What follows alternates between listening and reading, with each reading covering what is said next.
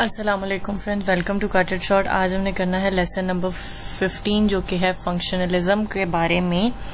और ये है हमारा P S five five zero two का लेसन नंबर फिफ्टीन फोर्टीन था हमारा स्ट्रक्चरलिस्ट अप्रोच के बारे में।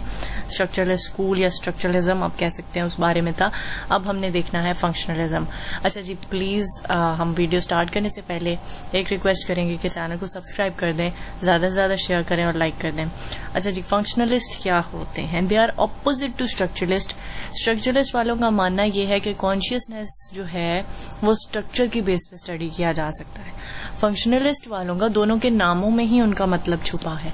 फंक्शनलिस्ट वालों का मानना यह है कि कॉन्शियसनेस को फ़ंक्शन की बेस पे स्टडी किया जा सकता है। ठीक है? अब यहाँ पे हमारे पास दो तरह के फंक्शनलिस्ट हैं अमेरिकन हैं और यूरोपियन हैं। ठीक है जी? अमेरिकन कौन है जो अमेरिका से ताल्लुक रखने वाले थे और यूरोपियन वो हैं जो यूरोप से ताल्लुक रखने वाले थे।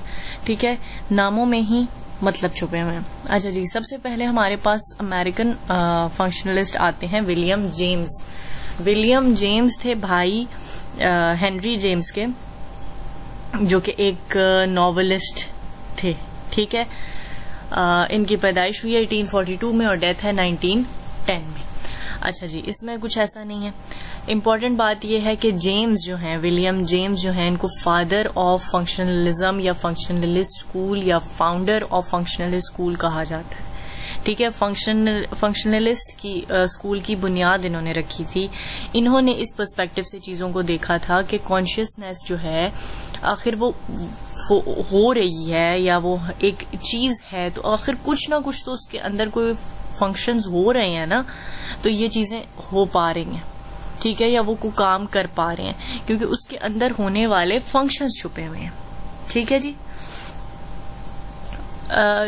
विलियम जेम्स ने ये क्वेश्चन रेज किया था कि वाई वी नीड कॉन्शियसनेस हमें कॉन्शियसनेस की ज़रूरत क्यों है?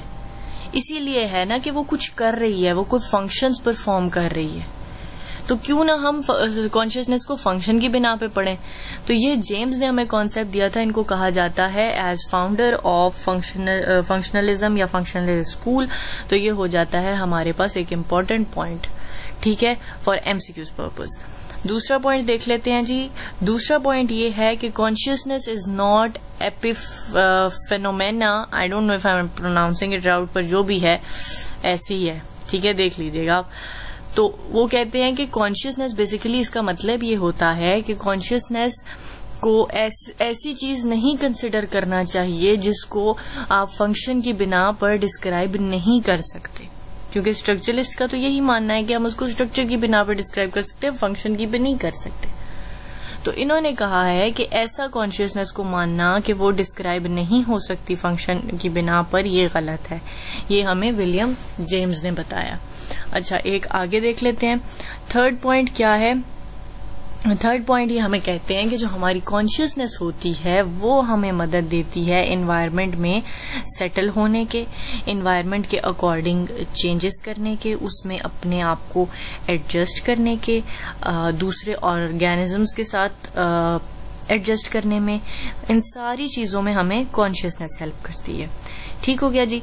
फोर्थ इनका पॉइंट ये है कि consciousness but all human psychological functions have a definite purpose मतलब ये कि कॉन्शियसनेस हो गई या कोई भी और चीज़ हो गई, कोई भी किसी भी किस्म का फ़ंक्शन हो गया, उसका कोई ना कोई पर्पज है।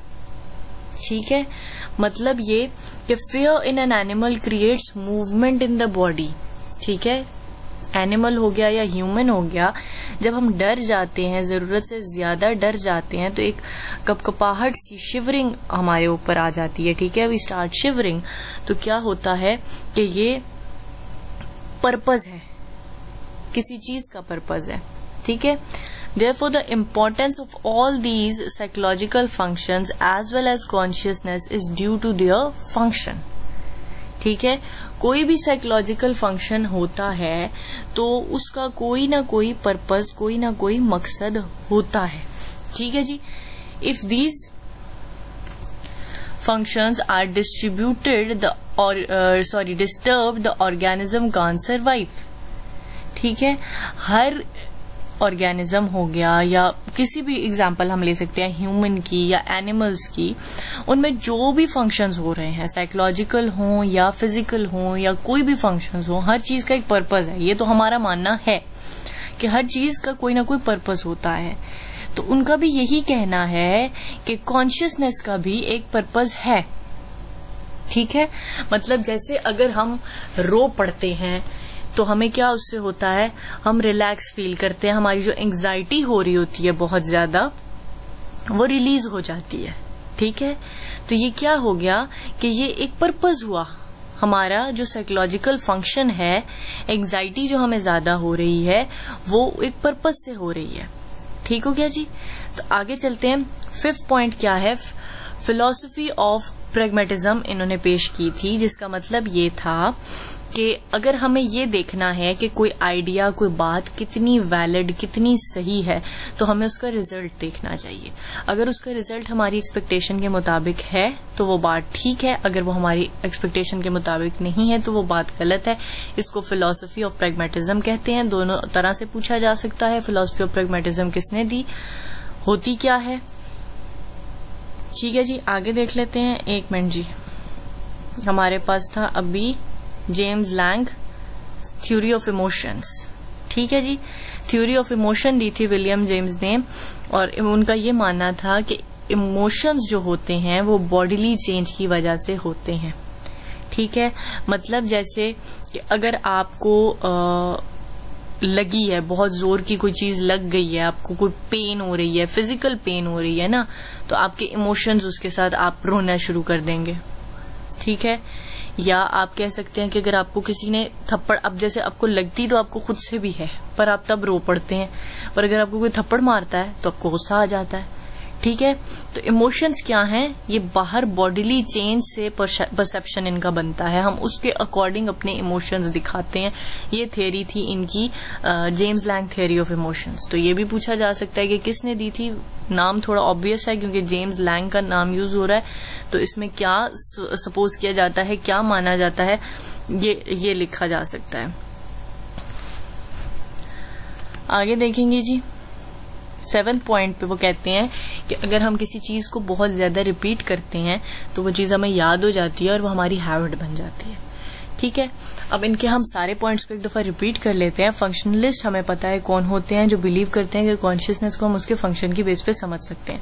जेम्स लैंग बेसिकली फाउंडर हैं फंक्शनलिज्म के और अमेरिकन फिलोसफर हैं। ठीक है? इनका ये मानना है कि फंक्शनलिज्म इन्होंने ही इंट्रोड्यूस कराया, इनका ये मानना है कि कॉन्शियसनेस को हम फ़ंक्शन की बिना पर डिस्कस कर सकते हैं। दूसरा, इनका ये कहना है कि ऐसा मानना कि कॉन्शियसनेस एक ऐसी चीज़ है जिसको फ़ंक्शन की बिना पर नहीं पढ़ा जा सकता, ये गलत है। ठीक है considering consciousness to be an epiphom phenomena epiphenomena it would be wrong ठीक है, ये गलत होगा। ये इनका पॉइंट था। थर्ड इनका पॉइंट ये था कि consciousness creates adjustment between the organism and the environment consciousness आपको हेल्प करती है किसी भी इन्वायरमेंट में, किसी भी तरह के लोगों के साथ, किसी भी तरह के वेदर में एडजस्ट करने के लिए। ठीक है जी? हमें समझाती है बेसिकली वो कि हमें उस चेंज के साथ कैसे एडजस्ट होना, कैसे कोप अप करना है उसको। फोर्थ पॉइंट ये है कि consciousness but all human psychological functions have a definite purpose मतलब ये कि कॉन्शियसनेस हो जाए या किसी भी किस्म का साइकोलॉजिकल फ़ंक्शन हो या फ़िज़िकल फ़ंक्शन हो, हर फ़ंक्शन का एक पर्पज होता है। ठीक है? मतलब जैसे कि अगर आप हंस पड़े किसी चीज़ में तो आपकी टेंशन रिलीज़ हो गई। ठीक है? तो आपका जो वो इमोशंस थे लाफ्टर आपका इमोशन है, आपकी साइकोलॉजी से रिलेटेड है तो जब आपने एक इमोशन दिखाया तो उसका ये पर्पज हुआ कि आपकी टेंशन खत्म हो गई। आप रो पड़े, आपकी एंग्जाइटी कम हो जाती है। जो एंग्जाइटी लेवल आपका बहुत बढ़ जाता है, जब आप रो देते हैं, अपना भर के रो लेते हैं तो आप एंग्जाइटी से कोप अप कर जाते हैं। तो क्या हुआ कि ये भी एक आपका कॉन्शियस फिनोमिना है। साइकोलॉजिकल फिनोमिना है, लेकिन इससे क्या हो गया कि एक पर्पज फुलफिल हो गया, आपकी जो एंग्जाइटी थी, वो काम डाउन हो गई। ठीक है तो कॉन्शियसनेस के अपने पर्पज हैं, अपने फ़ंक्शन हैं। फिलोसफी ऑफ़ प्रेगमेटिज्म में वे कहते हैं कि when we need to assess how valid an idea is we need to look at the consequences of the application of idea अगर हमें देखना है कि कोई बात कितनी सही है तो हमें उसका नतीजा देखना है। ठीक है? और उसके अलावा इनकी James Lange theory of emotions है, जिसमें ये कहते हैं कि इमोशंस जो है वो बॉडीली चेंज का रिज़ल्ट होते हैं। और सेवन्थ पॉइंट में ये कहते हैं कि रिपीटेशन जो है वो आपकी चीज़ों को हैबिट बना देती है और आपको लर्निंग में हेल्प देती है। अच्छा जी जॉन डेवी मासूम से इंसान है, उन्होंने कुछ इतना खास नहीं किया। हमारी ज़िंदगी थोड़ी सी आसान की है उन्होंने। अच्छा जी, पैदाइश इनकी 1859 में और डेथ है 1952 में। एजुकेशनिस्ट है। तो इन्होंने एजुकेशनल पॉइंट ऑफ़ व्यू से ही साइकोलॉजी में काम किया है।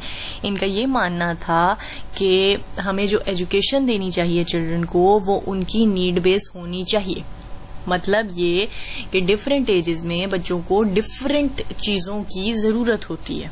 चीज़ों की ज़रूरत बेसिकली आप कह सकते हैं, या मुख्तलिफ़ एजेस में मुख्तलिफ़ बातें समझने की ज़रूरत होती है। ठीक है? उन नीड्स को एजुकेशन को फुलफिल करना चाहिए। लेट सपोज़ कि जब आप प्यबर्टी हिट करते हैं, आप लोगों में जीन्स चेंज होते हैं थोड़े आप कहेंगे कि हार्मोनल चेंजेस आ रहे होते हैं तो तब आपकी नीड क्या होती है कि आपको उसकी प्रॉपर गाइडेंस मिले? कि आपको ये चीज़ों से कैसे कोप अप करना है, कैसे डील करना है, ठीक है? और इसकी लैक ऑफ़ नॉलेज की वजह से नस्लें तबाह हो जाती हैं। तो ये ये किसे करना चाहिए? ये एजुकेशन डिपार्टमेंट को करना चाहिए, बच्चों को एजुकेट करना चाहिए। उसके अलावा अगर आप देख लें कि आप जब बिल्कुल ग्रोइंग एज में होते हैं शुरू शुरू में तो बहुत सारे ऐसे टॉपिक्स होते हैं जो कि एथिक्स से रिलेटेड हैं। सिर्फ़ किताबी नॉलेज नहीं बेसिकली एक्सपेरिमेंट्स बेस्ड या प्रैक्टिकल नॉलेज या उनको जो हेल्प करे लाइफ में या जिसकी उनको लाइफ में उस टाइम पे ज़रूरत है, वो चीज़ें उनको सीखनी होती हैं। बहुत सारे एथिक्स उनकी सीखने की ज़रूरत होती है। आप जब जाते हैं यूनिवर्सिटी लेवल्स पे तो उस टाइम पे आपको करियर काउंसलिंग की बहुत ज़्यादा ज़रूरत होती है कि आप लोग, कौन सा करियर आप लोगों के लिए बेस्ट है। बच्चे समझ नहीं पाते कि उनको, के लिए कौन सी फ़ील्ड ठीक है और वो गलत फ़ील्ड में चले जाते हैं और फिर उनकी काफ़ी सारे साल बर्बाद हो जाते हैं। तो उनको उस टाइम पे काउंसलिंग की ज़रूरत होती है। या आप कह सकते हैं कि करियर एडवाइस की हम कह लेते हैं काउंसलिंग नहीं कहते करियर एडवाइस की ज़रूरत होती है।